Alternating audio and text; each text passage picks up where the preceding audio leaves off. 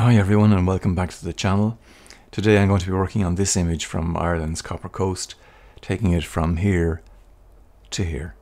I had a couple of objectives when I, when I was taking this image, when I was framing up for it. The first thing was that I wanted to have a gap between this large rock in the foreground and the two uh, sea stacks here in the middle ground. And I wanted to be able to see this rock in the distance in between the two sea stacks.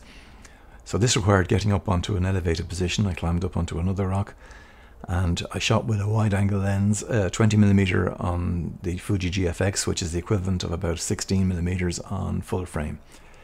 So I have all the elements in the place that I want them, but unfortunately shooting with a wide angle from the elevated position means that these two rocks here are nothing like as dominant as they are when you're there in person. So in order to correct this, I'm going to use the transform tool. So we'll click in here and there are two controls I'm going to use. The aspect, which I'm going to slide to the right, which as you can see pulls in the edges of the frame and stretches the image taller. And then I'm going to use the vertical, which I'm going to pull to the left. And again, just gives us that extra feeling of depth in the rocks. And it's just a question then of playing around with the amount on each of the sliders to get it as a kind of as a fair representation of the scene.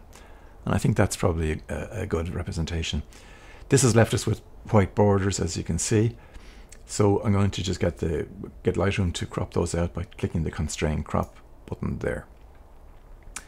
Okay, so now we have the image looking as it looked to me on the day and uh, now the next thing is to go in and start doing the, the basic corrections.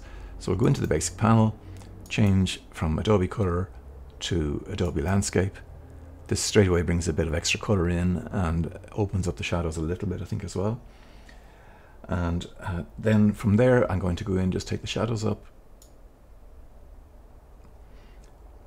And I'm going to do local adjustments from here. The first I want, thing I want to do is just to tone down this area here on the right. It's a little bit brighter than the rest of the image. So this is just to balance things out. So we will hit the radial gradient, drag it out here, just into that area there, and take the highlights down ever so slightly, just to keep it all looking at a bit more even. Now the next local adjustment that I'm going to do is to select the sky and I'll use the dehaze slider just to bring out those clouds a little bit more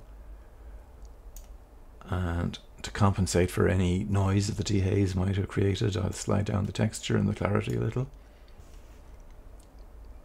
The next thing that I'm going to do is work on the, the white water in the foreground. So I'm going to create a new mask and I'm going to click color range. And I'm going to try and find an area where I can select where I get a good selection of the water. That looks pretty good. I can refine this using the refine tool here, dragging it more to the right. That's given me a really good selection of pretty much all of the white water, but it's also given me the sky. So we'll just simply hit subtract and click select sky. And now I have all of that white water selected. And the first thing I'm going to do is just bring up the texture a little bit. I'll take up the whites and from here, I'm going to work on the rocks. So I'm going to create another new mask. And this time I will click luminance range and I select drag an area on the rocks here.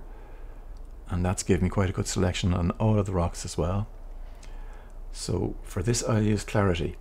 I prefer clarity for things like rock, where the texture of the thing you're trying to sharpen up is coarse. Whereas with the water, I prefer to use texture. I think it just gives a more subtle result. What I might also do, because everything is quite blue in the in the, the rest of the image, I might just bring up the temperature on the rocks very, very slightly. Just to create, again, a little bit more separation. Because color contrast, any types of contrast in an image really give you a sense of depth. So that's it just separates the rocks out from the from the water a bit more. I'm going to create another new mask now from a linear gradient from the, the, bottom of the image just to lighten that up a little I'll try exposure first of all, see what that does. Bringing up that water a little bit more, I like that. Might take the whites up a little as well. From here, the next step I'm going to work on is another linear gradient just in the top, maybe 10% of the image, stretching out a little bit. Uh, trying not to get it onto the rocks. I'm going to bring that up a little bit away from the rocks. So take the exposure down very slightly just to hold in the top of the image.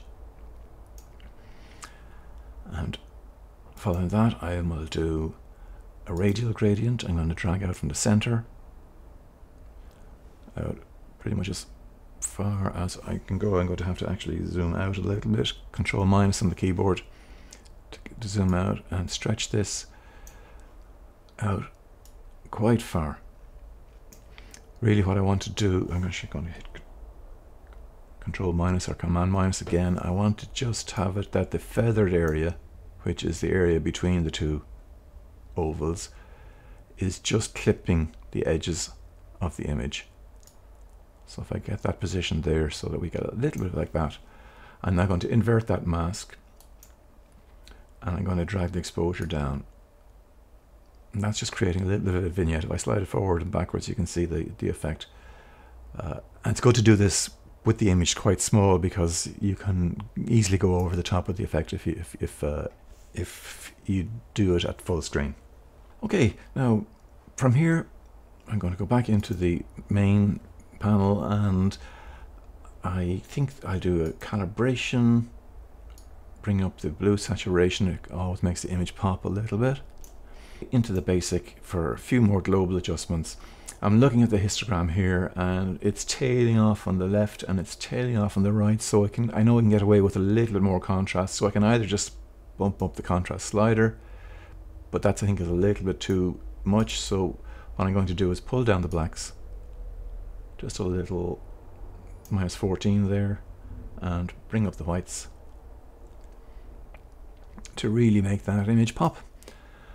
And there we have it. I think there's maybe one more little tweak we can do in the HSL, which is the hue, saturation and luminance. And I'm just thinking about the color of the water, the seawater, the aqua. And if I slide up the saturation and that, and maybe bring up the luminance on it a little bit as well. Now the next thing we could do would be just maybe to do a final crop. Because we have the original aspect ratio at the moment, but I think maybe if we take it to a 4 by 5 what that will do is it will get rid of some of those rocks on the sides. I can come in a little bit further here, and a little bit further here, so that we concentrate our attention on the center of the image, move it across a little bit more. We can change the grid by pressing the letter O, and that can give us things like the rule of thirds, or it'll give us a, a grid with what's it, five by four or five by five squares. But if we cycle through, we can get these crosshairs, and I want to align that cathedral rock bang in the center of the image. That's very useful to do things like that.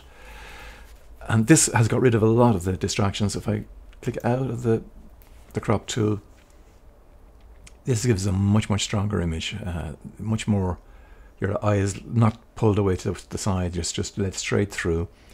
We could even go in and use the content aware eraser on that rock there perhaps. I'll take that out, do the same thing here and here. And I'll just press Q to get back out of that tool. And there we have the finished image.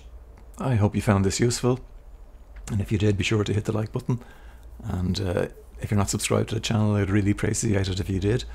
And uh, until the next time, thanks for watching, and I'll catch you again soon.